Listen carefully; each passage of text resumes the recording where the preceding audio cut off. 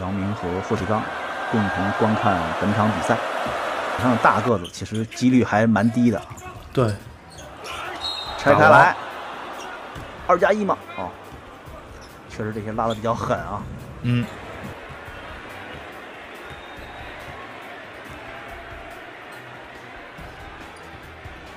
好球！这个摆脱了心理因素的影响之后，大王已经连续罚中三个了。看他的第四罚。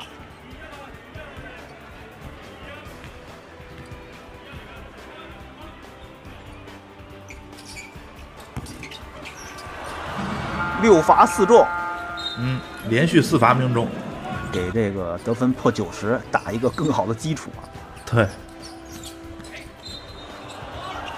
呃，中国香港队，这也是鉴于大王的存在吧，提了一中国香港队也是有意的清空了右侧，所以也保持四十分钟。毕竟呢，是赢球只是一方面嘛，还是应该通过比赛再去获得更多的锻炼。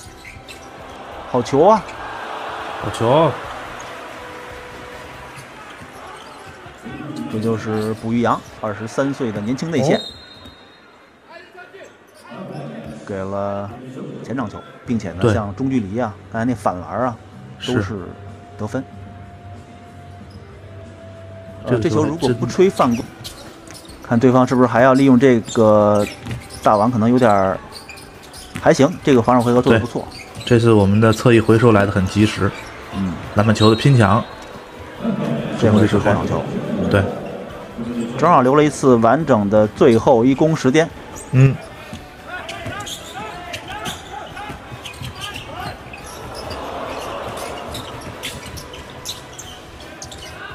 富豪篮下，富豪有夹击，夹击出球，朱俊龙没犯规哦，大王的补扣入扣。到了六十八分，看这球是因为有点直上直下这个感觉。这球在 FIBA 的规则下，位置确实于家豪这身高就是直接能制霸篮下了。嗯，于家豪还是一个传统进攻技术比较全面的球员，他这勾手还可以，他他镜框手感很柔和。嗯，他可能就是需要提一些自己的速度，然后把这个对抗力量给练上。好球！好球！于家豪的侧影球给了朱俊龙。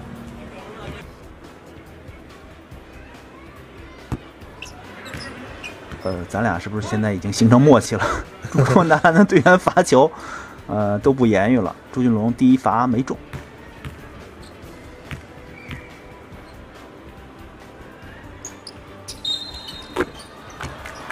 这球，中国香港队其实又已经提前进线了，但是罚球是有效的，进球有效。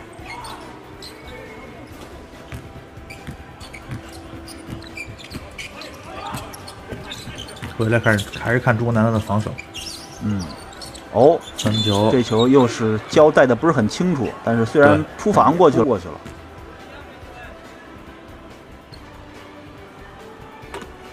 二十三号梁家显一罚中，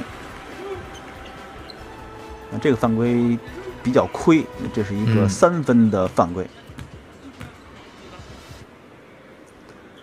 其实咱们看上半场比赛，中国香港队是就拿了十二分哦。姚明和霍启刚共同观看本场比赛。那姚主席今天不用到场下去面授机宜了。嗯。呃，通过二啊，通过这个三是这样，因为你有澳大利亚，有新西兰嘛，加上像日本啊、菲律宾啊，这些都是对于他们来讲，其实可能还是是不是让更多的运动员来内地打球。其实来到内地的职业联赛里面去历练，因为香港现在已经有自己的这个职业球队了，呃，香港金牛对吧？上个赛季已经打了 NBA，呃，咱们也去做了一些采访呢，也是进行了一些了解，而且你能够看到，呃，香港金牛的两位运动员梁兆华跟杨瑞琪在。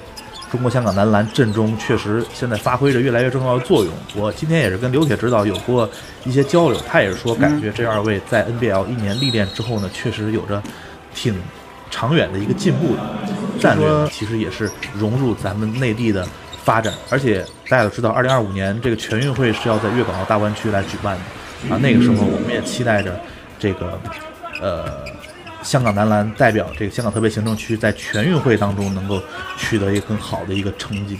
那是不是未来这一两年我们能看到更多的来自中国香港的球员来打咱们内地的职业联赛呢？我觉得这个是我比较期待的一些东西，也是他们能够去快速提升自己竞争力的一个方式。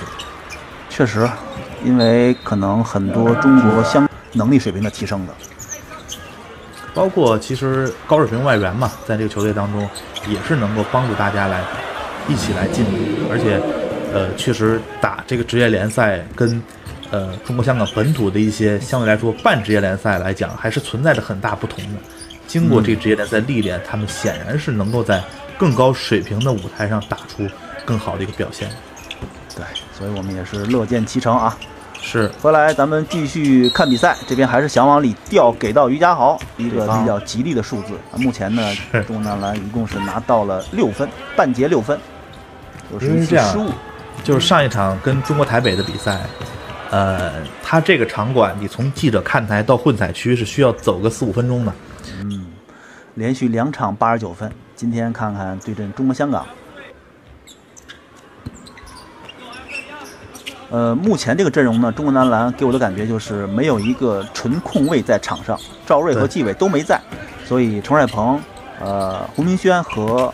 崔永熙他们三个人呢，会承担比较多的，比如说控过半场啊，包括梳理进攻的重任。当然，这个进攻的流畅程度肯定是不如有一个纯控卫在场上啊。是，而且现在基本上就是崔永熙在支配球更多一些，可能这个阵容还是需要中国男篮打更多的转换吧。啊，这边中国香港再度命中三分球，分差三十一分。嗯。这个防守其实还好，没有说给对方一大空位，但是关键是现在我们的进攻遇到了一些问题。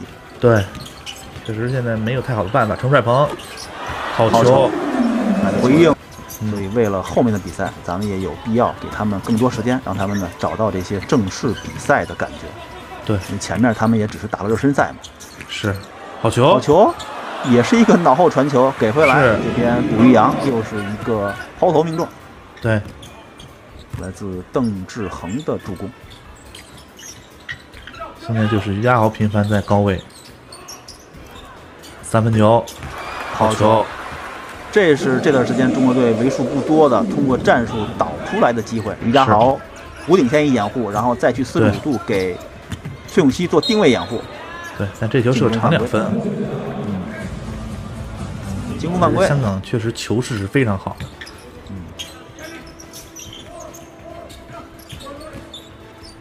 还是先在弧顶给胡明轩做一个掩护，胡明轩再给好球，好球，经典的挡拆配合，是。经过前面半节的适应，这个阵容开始慢慢的有更多配合的迹象了，或者说进攻更流畅了。对，要丢。这球又是反击，好球啊！上球，胡明轩，好球，这是胡明轩的拿手好戏，反击成功率相当之高。刚才那传球应该是杜润旺传的，嗯。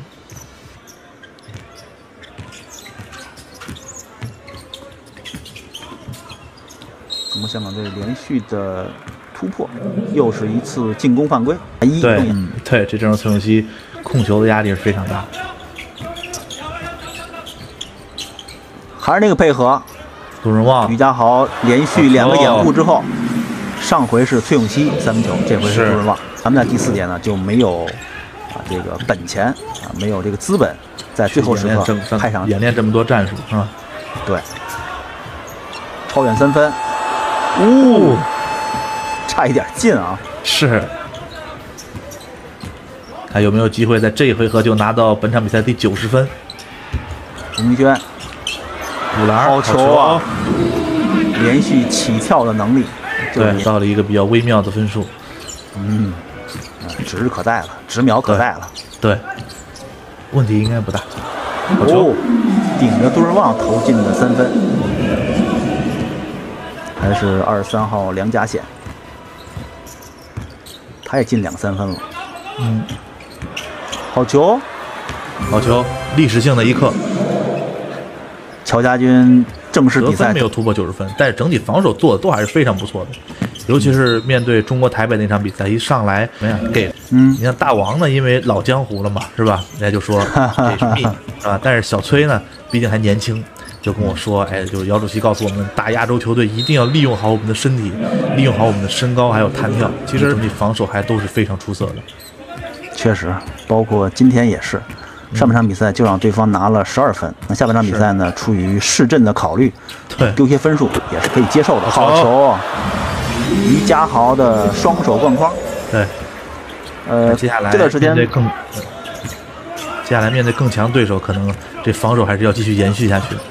嗯，而且这段时间咱们的几乎每一次进球都是来自于队友的助攻，这也是一个是很好的信号。是，一方面挡拆打得比较活，另一方面确实于家豪在高位做定位掩护，给投手创造机会，这个进攻方式也成为了中国刚才连续拿分的一个关键的战术。好球啊！阿旺在弧顶已经连续两次送上这种穿透性很强的球了。对，原来我们这个锋线处处理球能力最强的，难道是杜润旺吗？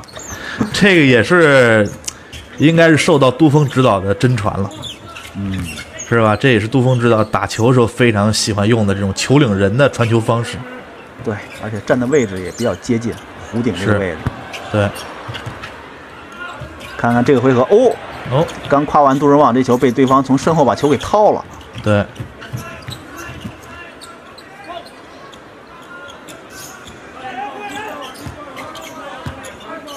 杨尔奇面对张镇麟，还是要个掩护。三分球，这球是被崔永熙的长臂跟大手干扰了。对，强干扰，嗯这应该不攻了。一般这种情况下，对方不防呢，肯定你是没有去攻这一下是必要的。是，最终呢，经过四节比赛，九十五比五十，中国男篮呢是比较轻松的击败了中国香港男篮。